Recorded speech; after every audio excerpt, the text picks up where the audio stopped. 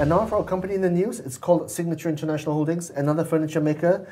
This is, of course, a furniture sector company which has been making the wrong moves in the market today, closed down by about 16, 17%. The reason is because they uh, booked a 62% drop in quarterly net profit, fourth quarter net profit actually. And this is concerning because at a time when the KLCI had a, bit, had a bit of a technical bounce, the shares of Signature International dropped by 16%, which accentuates the decline.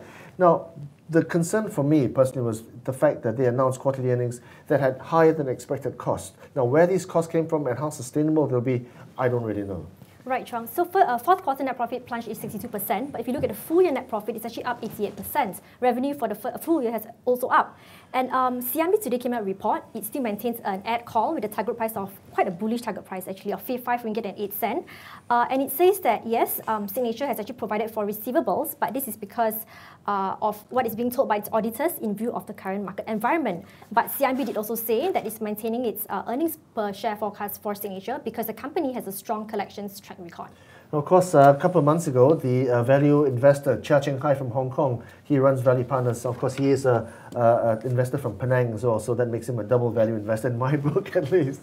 Um, he emerges a substantial shareholder. He's, he's got about 5.3%. I'm wondering whether he's going to be buying stock at, in, in Signature at these levels now. I mean, the thing is, um, it is still in a positive sector. The US dollar is still riding high, probably going to continue to ride high against emerging market currencies. I think operationally, the, the big question mark is how bad these quarterly earnings are. I mean, I'm quite concerned by the quantum and the magnitude of today's drop. It's, it's quite unusual. Yeah, but overall, Signature as a stock, as a company, its, its business is, is still doing well. I actually met the, man, uh, met the management earlier this year, and it says that it's still uh, projecting a double-digit growth for the next, up to the next three years at least, because the way Signature's business model works, right, is that it does kitchen cabinets.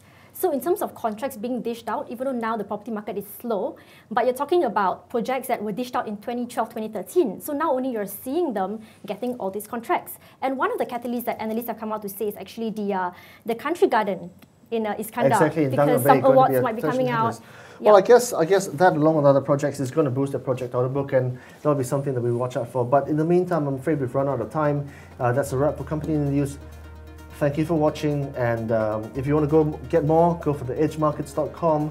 Uh, I'm, of course, joined by Lynn Tang. I'm Hsu Chuang and Charlotte Chong. Thank you for watching. Come back again tomorrow. Thank you.